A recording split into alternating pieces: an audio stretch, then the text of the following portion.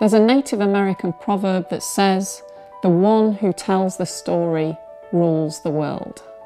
Stories have the potential to be incredibly powerful. They're able to change how we relate to each other, to change prejudice. So the potential for stories to persuade is staggering. I read this really, really good research paper about these two books, which basically suggested that if you get people to read a couple of chapters of Harry Potter, they'll rate themselves higher than other people in their ability to potentially move something just using the power of their mind. The people who read about the vampires, they'll actually believe that their teeth are slightly longer than other people in the population just as a result of having read a chapter or two of this book.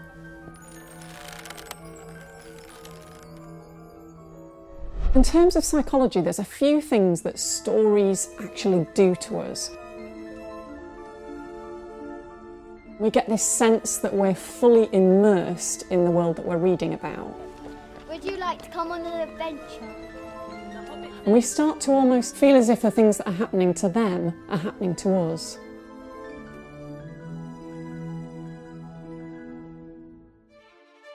Reading is not a relaxation. You are building worlds. You are populating those worlds with cities, and those cities you are populating with people. So, although television, film, theatre all have their place in the storytelling world, to me, that moment of contact with a book, when you read a story and unlock its secrets, nothing quite comes close.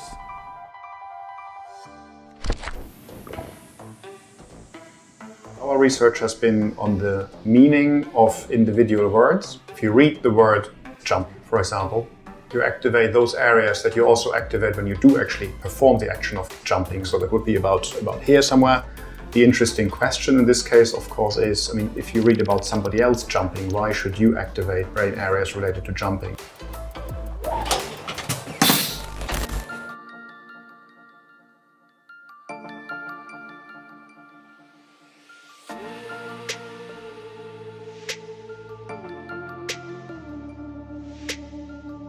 The proponents of the theory would say that immersing yourself into a story is based on the mirror neuron system.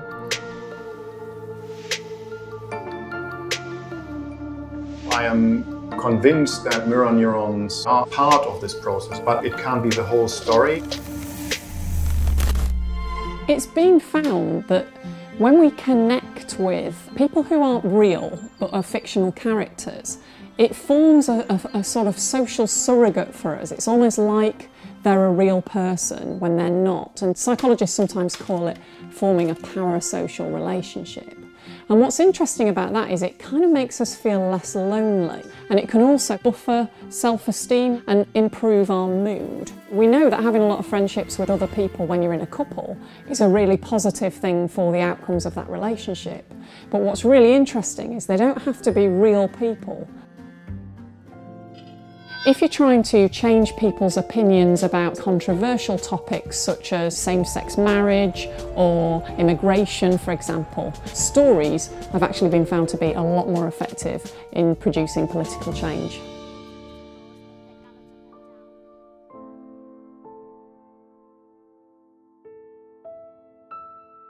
Attitudes towards stigmatised groups could be improved by reading Harry Potter, but only if the person identified with Harry. Children love stories. They always have a story to tell, whether it's about the weekend or what happened in the playground. And it's such an important part of understanding the world around them and, and understanding themselves.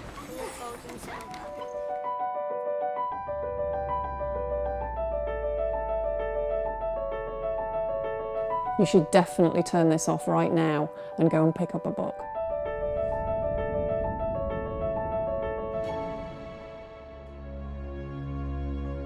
Thanks for watching. Don't forget to subscribe and click the bell to receive notifications for new videos. See you again soon.